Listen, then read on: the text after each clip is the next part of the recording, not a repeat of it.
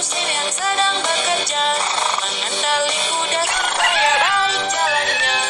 duk dik tak dik duk duduk, tak dik duk dik tak dik duk dik tak dik duk dik tak suara sepatu kuda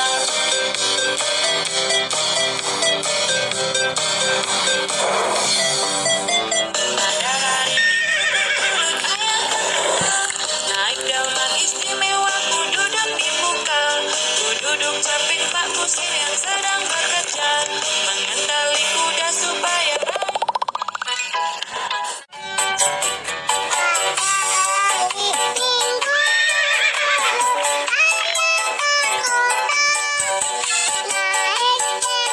Kiss me.